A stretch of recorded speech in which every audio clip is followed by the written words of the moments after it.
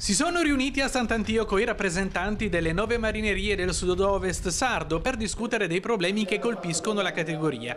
L'assemblea, organizzata dall'Associazione Pescatori del Sud-Ovest, ha posto all'unanimità il problema degli indennizi bloccati da due anni del fermo pesca dovuto alle esercitazioni militari del poligono di Capoteulada, i piani di gestione locale e le nuove normative europee sulle marcature ed identificazioni dei pescherecci. Saremo presenti alle manifestazioni che farà il territorio, il territorio eh, che manifesterà a Roma per tutte le questioni che riguardano il comparto, il comparto economico del Sulcis e cercheremo di portare sia eh, verso la, la, nostra regione Sardegna sia verso il Ministero della Difesa le problematiche del settore pesca che ormai non possono più sopportare questi disagi. Durante l'assemblea è emersa da parte dei pescatori anche la volontà di nuove azioni di protesta eclatanti come la consegna alla Capitaneria di Porto delle licenze. Secondo me ci sono molti problemi grossi.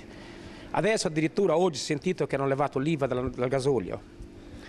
Ma prima non, non possiamo andare avanti, adesso è ancora peggio. Molte le preoccupazioni degli operatori della piccola pesca. E, e sono proprio arrovinato, sono pronto a buttare la licenza perché non si può, non serve a niente, è tutta una fregatura. Siamo in una situazione a dir poco disastrosa.